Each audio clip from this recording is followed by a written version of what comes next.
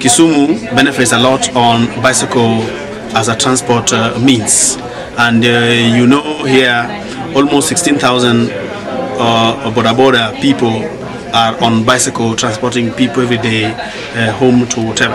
Uh, a lot of our young people, almost 60% of the youth, are involved in Boda Boda industry as a means of uh, a livelihood and they support their families uh, back at home and all that. Uh, for, the, for the earlier time, people never took Boda as a serious business and thought it was just a way of passing time so that they would get into another business. But people, the young people have now realized that Boda just as any other job, is part of how they can earn an income and uh, that is very important and I think that has changed their lives and I can see a lot of them changing from one level to the other.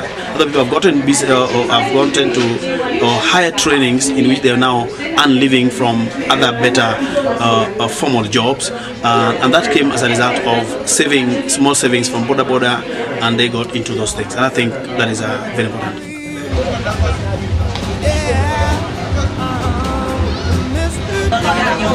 Pichakaza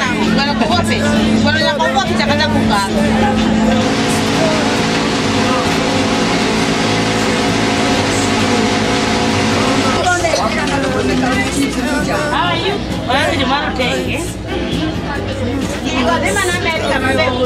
Rima ko wa. Rima ko wa ni ni wali kare ki. But I want to take this chance to welcome all of you to this organization called Victoria Boda Boda Circle Society. Boda Boda Oi! Oi! Boda Boda Oi! Oi! That is the voice of the members of the circle. We have over 700 members today. Victoria Boda Cooperative Society is an organization for the youth engaged in bicycle transport as a means of uh, income. Uh, most of them are people who are staying in the slums of Manyatta. We mobilize the little funds we get from the riders in terms of savings. They, they can get loans here. They can also get uh, asset loans, that is like bicycles mostly, and also a wife to a rider can also get what we call uh, the service loan to start small businesses. Apart from that, we have come down to organize ourselves to an extent that we, are, we have opened a scheme called the National Hospital Insurance Scheme after we found out that most of our, of our young people die because, they, because of fear for going to hospital because of lack of funds. Te- te- Tentatively, that is what we do in this organization.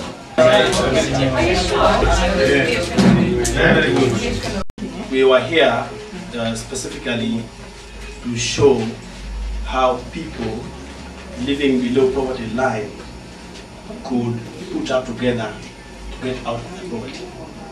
This is a typical example of a practical initiative that has ever come within this area.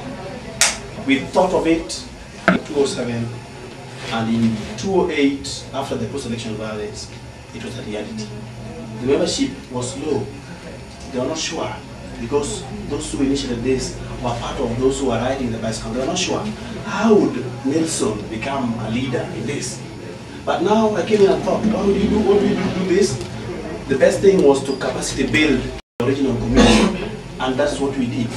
And today there are people who you see with a lot of knowledge on running a cooperative movement. A cooperative movement is registered under the Ministry of Cooperative uh, Development in Kenya.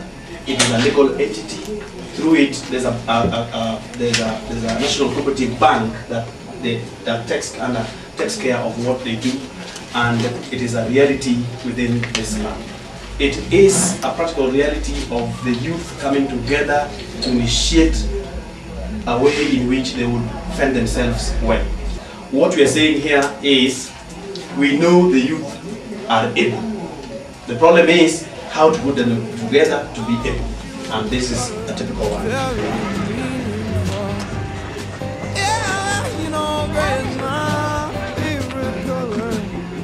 I feel so surrounded by of pain, but I knew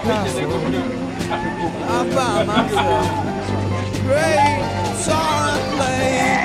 Mr. Joe and me look into the future. Yeah, we stare at the beautiful woman. She's looking at you. Just high on me. Uh, beautiful conditions being addressed uh, dialogue between municipal council and the road users, dialogue between road users and strength uh, on the grassroots uh, entities. Then we also have uh, objectives. When we talk about the dialogue here, we mean we have several people to bring on board so that we can really make them come to harmony in their operation to find out that to achieve these objectives, a resource and a creation center will be established uh, in the Cosao Community Hall and the Flamingo wholesale market that was built by the World Bank where we all went that day. We found out that we can use the two, the two centers and find out which one best suit uh, the use of this. But we found out that the Kosa Hall is already there with three smaller halls that already exist, with one larger hall also that is there. And for immediate use, we will use that as we think of constructing a modern resource center. the past one week, Korean week, the, it, it was very, very, very, very good. Uh, we experienced a lot, we shared a lot with uh, our both local uh, participants and the Cordaid and other, our friends from Netherlands. It was very productive and uh, we had a lot of